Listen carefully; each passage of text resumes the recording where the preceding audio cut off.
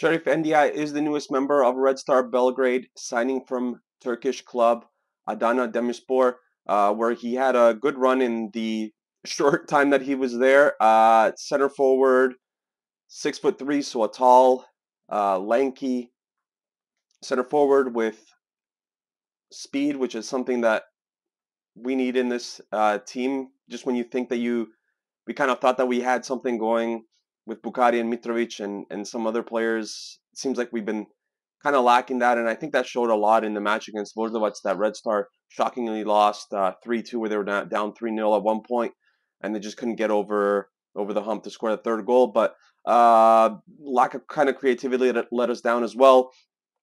The thing about uh, Ndiaye is, is the fact that he's been able to score goals at a fairly high rate wherever he has gone. So whether uh, his first stop in, in Beveren, which is in Belgium, didn't do too well, didn't stay there for too long, and then once he got to went to Croatia and then to China and then to Turkey, where he started scoring more and more, and now he's kind of reached that, uh, you know, the the height of where he's scoring goals at a high rate. Uh, eight matches this season, five goals and three assists, which is great. So he kind of fits into that uh, Olayinka and Krasso um, sort of mold in, in in the sense that he doesn't just score goals where he can assist and get other players involved as well. And I think that's very important for any club.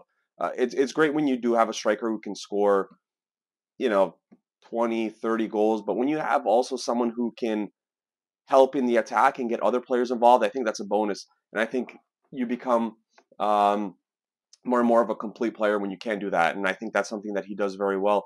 Um, right place at the right time kind of player. I, I think a lot of his goals and the stuff that I've watched, he just knows he has a nose for goal. Like eh, there's just players that know how to get there. Like I'm not comparing him to Ruud van Nistelrooy in any sense of imagination or anything like that because that would be very stupid. But Van Nistelrooy knew where to go, and that's how he scored a lot of his goals. If you watch his highlights, not a lot of goals are outside the 18 yard box, right? A lot of them are within that you know, five to 12 yards from goal, and that's where he scored most of his goals from. But uh, the thing with Ndiaye uh, as well is he's excellent off his first touch, which I've noticed with what I've watched.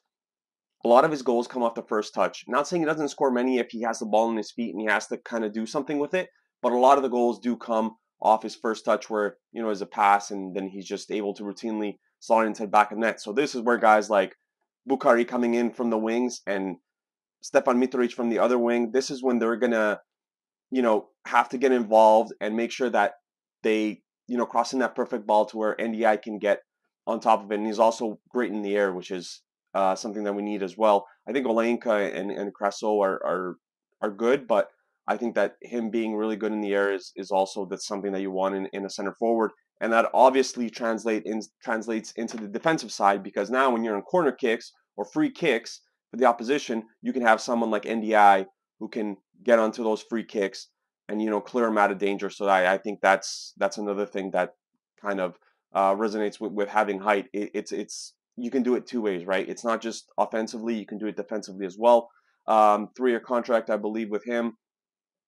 It was a club record, four million plus another million in um, bonuses, but that's been eclipsed. Which is another video that I'm going to do with um, Hwang Boom, who we signed from uh, Olympiacos as well, is brought in as a uh, midfielder. But Ndiaye, obviously, I guess one of the concerns is he has kind of bounced around to a few teams in the last three or four seasons. I honestly don't look at it like that. I to me that doesn't really mean much. I mean, Lukaku's not comparing to Lukaku obviously, but Lukaku's been on three or four different teams in the last three or four years and he scored goals wherever he's gone. So, I mean, it'd be stupid to sit here and say that, you know, he's not a quality player because he has bounced around a little bit. I think that this one in Turkey kind of showed you what he is and and he's, you know, at that pinnacle in his career where um, he is uh, scoring a lot of goals. He plays for Senegal. I'm not sure. I haven't didn't really find the stats about how much he's he's played for Senegal's national team. Uh, I haven't really looked it up to tell you the truth, but he is is from Senegal, so um, yeah, hopefully this is this is the type of signing that we need heading into the Champions League and into the tough group that we do have. Uh, so hopefully Cherif Ndiaye will, you know, kind of slot into that starting eleven. And I think the question becomes now, like, how do you deal with this starting eleven? Who plays where? Because with either Krasso or uh, Olayinka, one of their jobs is going to have to be on the line, or you're going to have to shift some players around. Uh, we'll see what happens with that. I just think that I think it was a huge wake up call losing that match to Voždovac, and where we couldn't score.